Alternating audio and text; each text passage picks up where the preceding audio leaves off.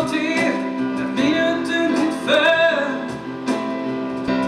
A PTE egészségtudományi kar polgárainak legfontosabb eseménye évről évre az oklevél átadó ünnepség.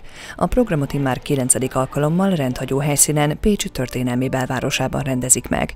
Ezúttal július 1-én került sor a dokumentumok átvételére a Széchenyi téren, ahol összesen 319 egészségtudományi és sporttudományi szakembert avattak. Mai nap is két turnusba adjuk át, ugyanis annyi hallgató uh, szerzett diplomát a karunkon. Két turnus, a 10 órás uh, turnusban a magyar hallgatóink kapták meg a diplomáikat, és most a délutáni turnusban pedig a magyar, illetőleg a külföldi hallgatóink vehetik át a diplomájukat. Július 1 -e egyébként már 1992 óta a Magyar Egészségügy napja, hivatalos nevén Semmelweis nap.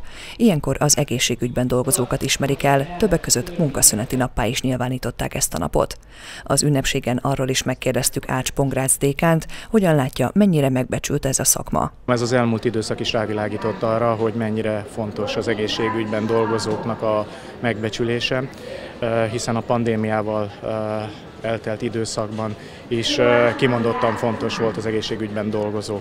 El tudjuk mondani, és nagyon nagy büszkeséggel tölt el engem is, hogy a, az elmúlt időszakban a hallgatóink, több mint 900 hallgató vett részt a, a küzdelemben. Nem csak pécsi, hanem regionális, sőt országos viszonylatban is kirendelték a hallgatókat a vírushelyzet idején, tette hozzá a dékán. Ács Pongrác elmondta, hogy bár megpróbáló időszakon vannak túl, rengeteg tapasztalatot szerezhettek a fiatalok, melyeket most diplomájuk megszerzése után hasznosítani is tudnak.